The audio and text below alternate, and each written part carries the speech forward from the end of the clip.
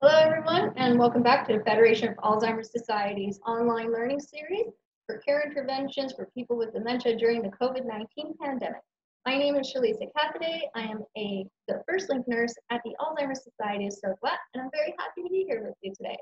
So let's jump into our next module on personal care.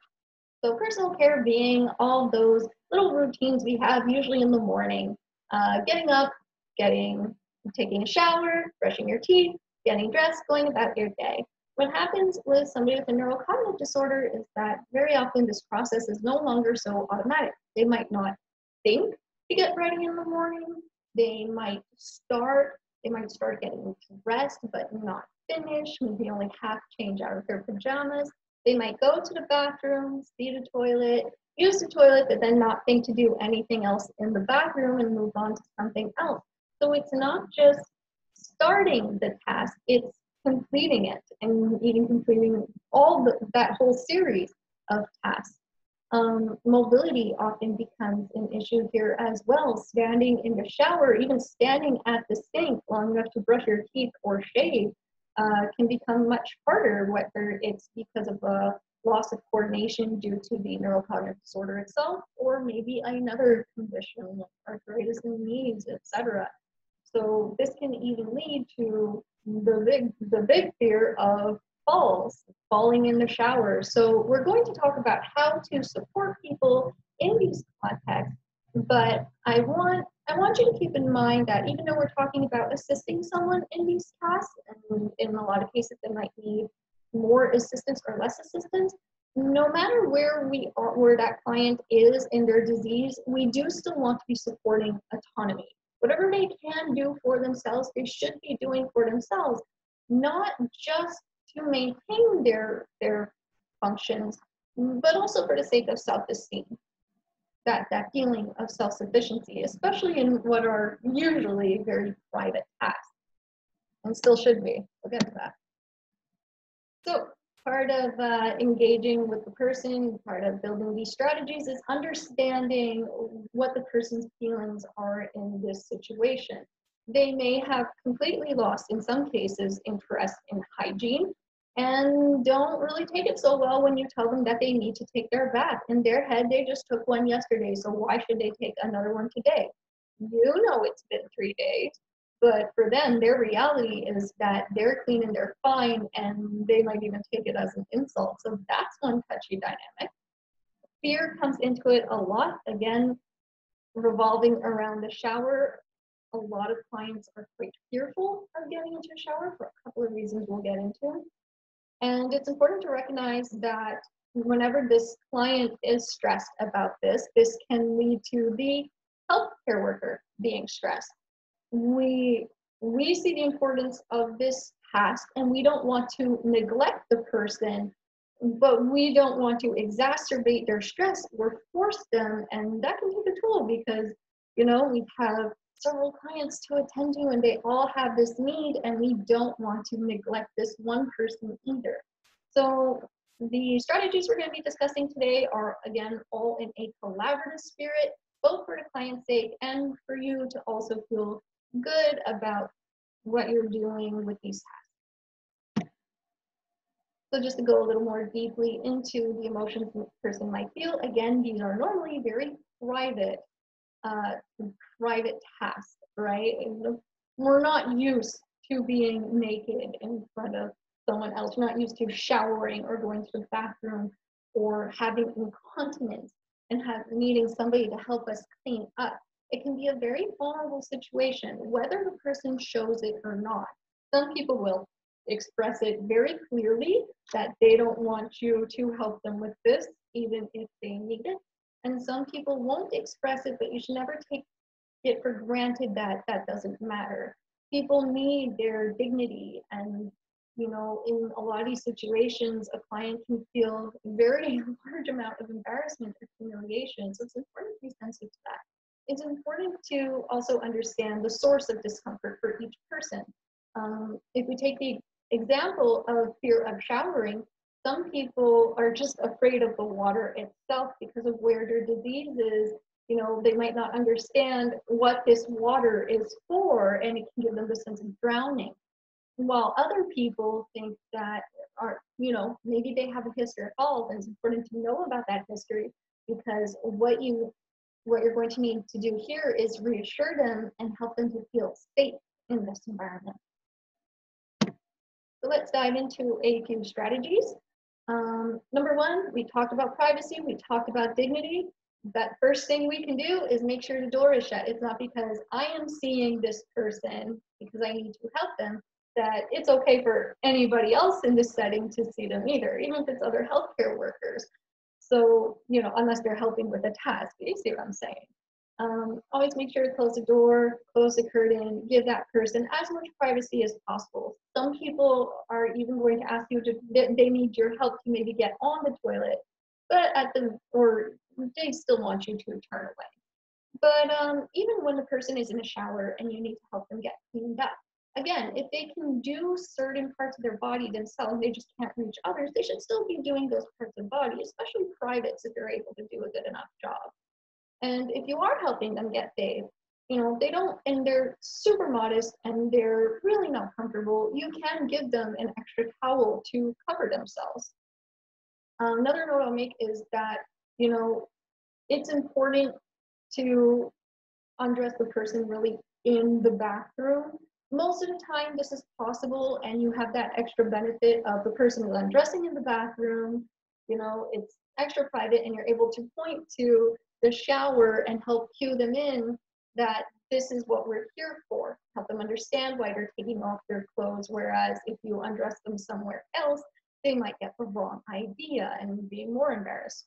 Um, if you do have to undress them, normally it's not the situation, but it can happen that you have to undress them somewhere that isn't this the, the bathroom where they're going to be showering, you should still be offering them a robe or a towel those can also be cues for like, I'm giving you your bathrobe because we're headed to the bath.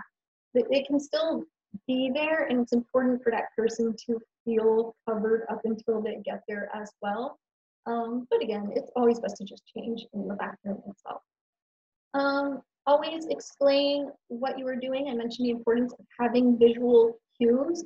Um, you know, sometimes it's just giving them step by step on undressing, um, explaining to them that we're going to, I'm going to wash your hair now. You know, when we have to get behind them in the bath, show them the shampoo bottle, and then get behind them. So little tricks like that, orient them into what you're going to do.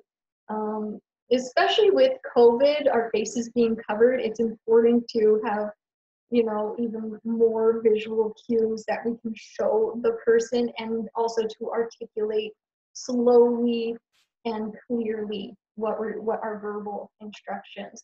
Um, again, sometimes it can help us support autonomy by directing the person, by helping them, you know, whether it's telling them, okay, you know, wash your chest now, wash your face. Um, we can do it verbally. Sometimes we can also lead their hand to that area as well. Because again, maybe they just need help getting started in that task. Then once you show them, they can take over. Um, always important to have everything ready to go in the first place. So always have all your soaps, all your washcloths handy. You don't want to have to leave and come back on a person that is either scared or disoriented or both.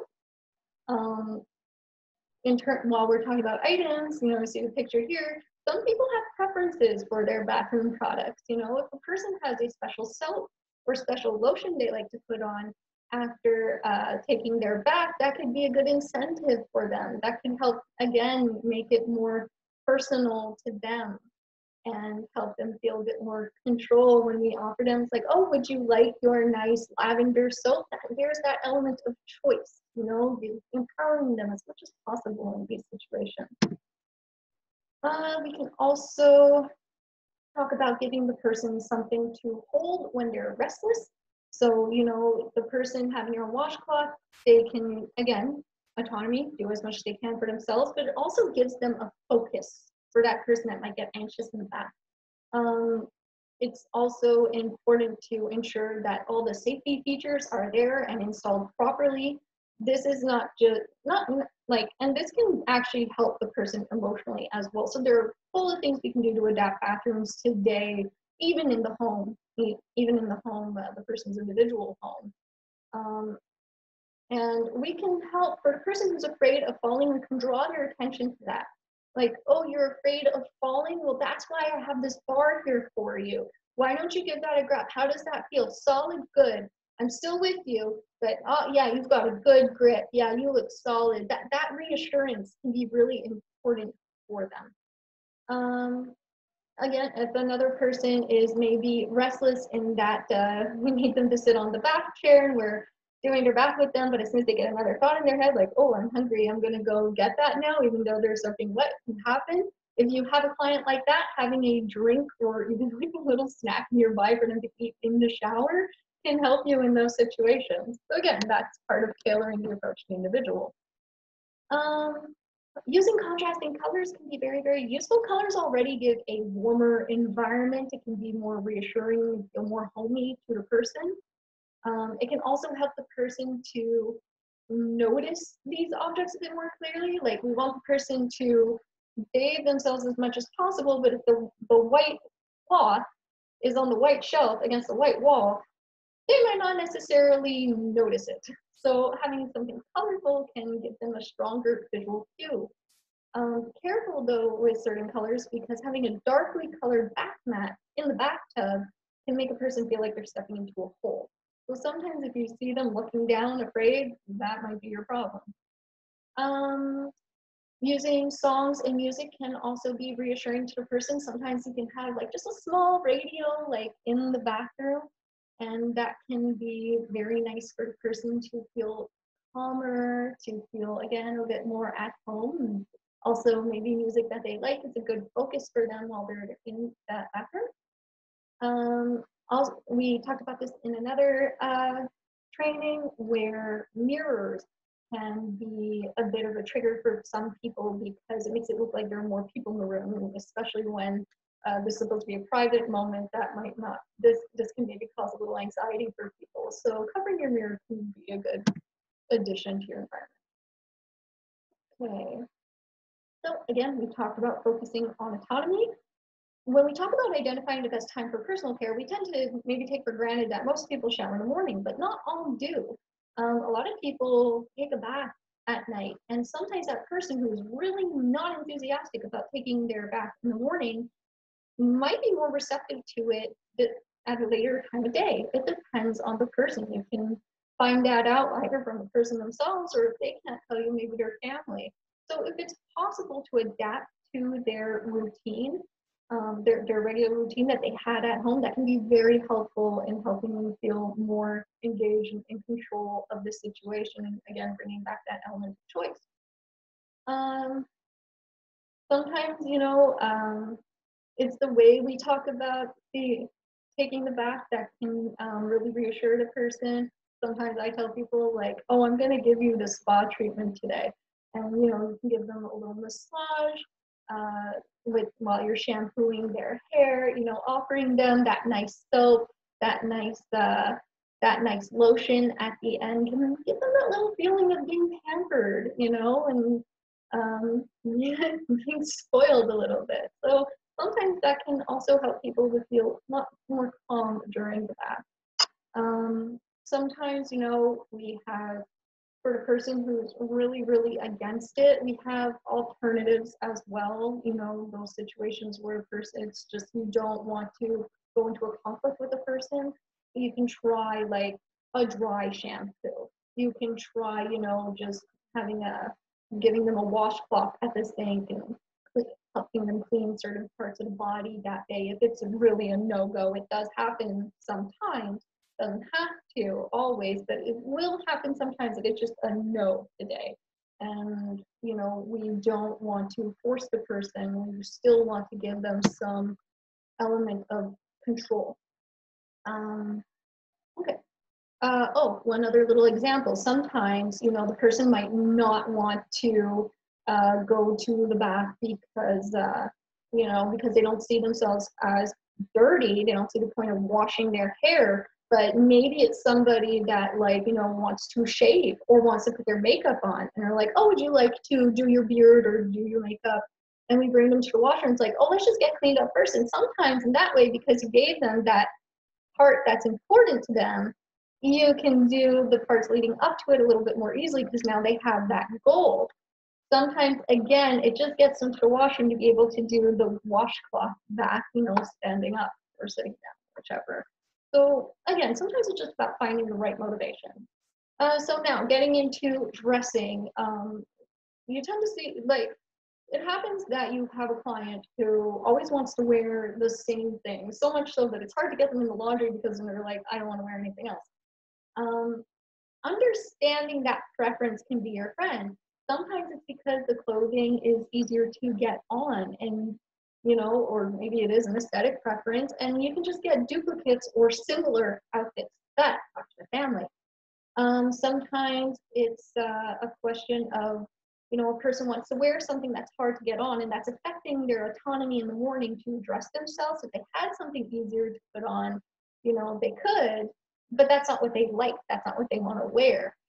So sometimes you can find adapted clothing, like things that look that that are jeans that are even dress pants, you know, for the person who prefers that. But they have zippers and belt they have zippers and velcro instead of buttons, and that makes it a lot easier to put on and helps that person preserve their autonomy. Again, you always want to respect the person's choice, choose your battles. If after several attempts they still want to wear their pajamas today, mm, maybe just leave it today, try again later, or even try again tomorrow. All right. Um, so four, finding the bathroom. Um, make it easy to find for a person. Sometimes a person knows they have to go to the washroom, they're trying to find a toilet and they just can't see it because again, they're visual spatially. Um, having signs on the floor, signs on the wall, making sure that there's not a bunch of chairs, you know, around the doorway, distracting them from the entrance to the bathroom, that can help.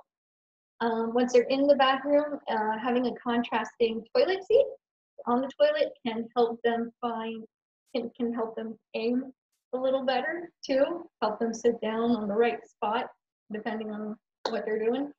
Um, a little note on trash cans um, sometimes there are accidents the person um, you know goes to the bathroom but they use the wrong hole because we had two holes right next to the person and they're not necessarily able to discriminate the difference between this hole this receptacle and this other receptacle so trash bins with a lid are a bit more useful.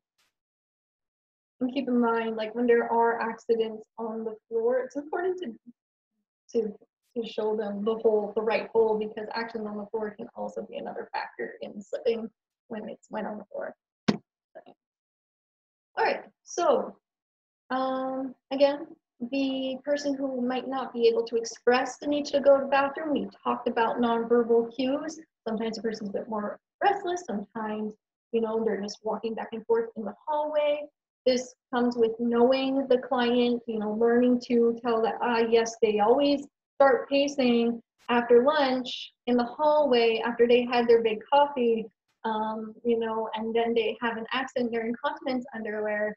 Well, now you, you're getting a pattern, right? So you can say, oh, well, I know where this is going. I'm going to go bring them to the washroom right away.